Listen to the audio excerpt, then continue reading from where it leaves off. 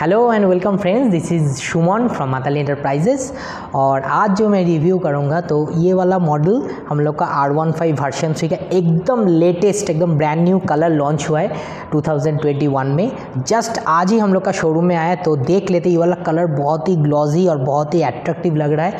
तो देख लेते इसमें क्या है, क्या नहीं है और क्या क्या नया फीचर्स ऐड हुआ है। तो चलिए स्टार्ट करते हैं और तो वीडियो एंड तक ज़रूर देखें। Thank you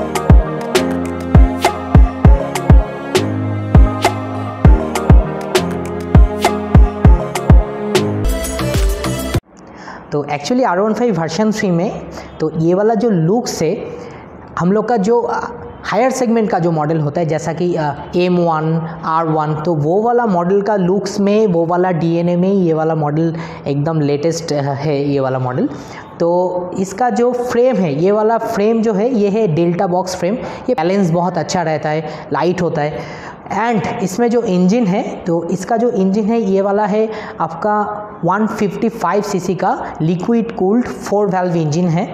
इसमें जो इंजन यूज़ किया है, वो है 18.6 bhp के साथ इंजन है और इसका जो टॉर्क है, बहुत ही बहुत ही अच्छा टॉर्क है 14.1 का टॉर्क है।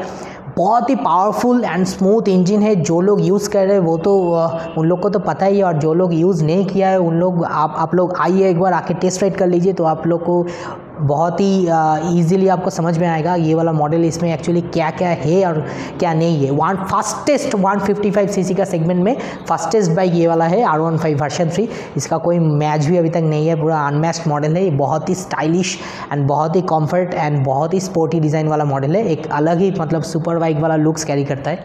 एंड इसमें जो और एक जो न्यू फीचर्स ऐड किया हुआ है वो है असिस्टेंट स्लीपर क्लच तो इसमें क्या होता है ये वाला जो क्लच है ये वाला दूसरा मॉडल से आप ये वाला बहुत ही लाइट में है लाइट क्लच एंड इसका जो असिस्टेंट स्लीपर क्लच का जो काम है वो क्या होता है जब गियर शिफ्टिंग करेंगे जब डाउन शिफ्टिंग के बाद आएगा तब ये वाला बहुत ही लाइट में होता है मतलब आ, कोई दिक्कत नहीं होता है बहुत ही इजीली एकदम डाउन शिफ्टिंग होता है। एंड इसमें और एक न्यू फीचर्स ऐड किया है, वो है A V V S sensor मतलब वेरिएबल वाल्व एक्चुएशन तो इस, और इसमें छः गियर यूज़ किया हुआ है। छः गियर रहने से क्या फ़ायदा होता है? आपको टॉप स्पीड पकड़ने में बहुत ही हेल्प होता है। और इसमें जो सीट है स्पीड सीट किया हुआ है। हम लोग का जो R one five version two था, उसमें जितना सीट का जो हाइट था, उससे 20 एम mm थोड़ा सा कम किया हुआ है, क्योंकि बहुत ही दिक्कत आता था बहुत लोगों को। और इसमें जो टायर है ये वाला टायर का साइज़ है 100 by eighty M M full tubeless tyre है और रेयर में जो टायर है आ, ये भी फुल एकदम ट्यूबलेस रेडियल टायर है। इसमें 140 फोर्टी बाई सेवेंटी एम का एकदम वाइट टायर है। इसमें क्या होता है आपका रोड ग्रिप बहुत ही बढ़िया रहता है। क्रूज़ वगैरह करने में बहुत ही ईजी होता है। एंड इसका जो मीटर है मीटर कौनसोल सबसे बढ़िया है। ये वाला एकदम बहुत ही स्टाइलिश लुक्स कैरी करता है। फुल डिजिटल मीटर है विथ 18 फीचर्स मतलब ये वाला मीटर में 18 फ़ंक्शन मिलेगा। आप लोग 18 फीचर्स यहाँ पर यूज़ कर सकते हैं। स्टार्ट करने में ही पहले हाई बॉडी करके। आप आप वहाँ पर अपना खुद का नाम सेट करवा सकते हैं यहाँ पर। वैसे भी यहाँ पर gear indicator shifting timing indicator time trip सब कुछ मतलब speedometer tachometer everything is included here and इसका जो एलईडी हेडलैम्प से बहुत ही unique and stylish sporty design में किया हुआ है। एकदम ट्विन आइड जो एकदम स्लीक डिज़ाइन है, हम थोड़ा ऑन करके दिखा दे रहे हैं। ये वाला ऑन करने में आपको दिखाई देगा। उसके बाद स्टार्ट करने में पूरा फुल हेडलैम्प ऑन होगा। इसमें बहुत ही एकदम पूरा फुल डिज़ाइन ऐसा। मतलब आपका जो ट्विन आई होता है मतलब आँख की तरह, दूर से एकदम आँख की तरह दिखाई देगा। बहुत ही बहुत ही बढ़िया एंड स्टाइलिश लुक्स में है ये वाला। इसमें डुअल चैनल एबीएस यूज़ किया हुआ है। सामने भी एबीएस है, पीछे भी है।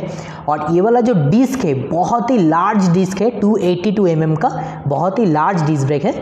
और पीछे में जो डिस्क ब्रेक है, ये है 220 mm का डिस्क ब्रेक है। उससे थोड़ा सा छोटा है, लेकिन braking power R one five का ब्रेकिंग पावर बहुत ही खास होता है और इसमें जो नया सेंसर ऐड किया है, ये है side stand engine cut off sensor तो इसमें क्या होता है, वो हम आप लोग को दिखा दे रहे हैं। ये वाला ऑन करने में साइड स्टैंड अगर गिरा रहेगा, गाड़ी ऑन होगा, देख लीजिए। ऐसे ऑन होगा गियर शिफ्टिंग करेंगे, तब संग संग गाड़ी का इंजन ऑफ़ हो जाएगा। देखिए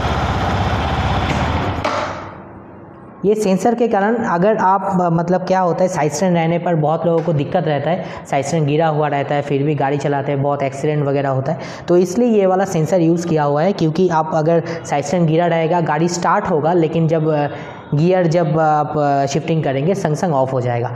और फिर से आपको ये वाला गियर को डाउन करके उसके बाद ही स्टार्ट होगा, नहीं तो गियर में गाड़ी स्टैंड अगर रहेगा तो स्टार्ट नहीं होगा।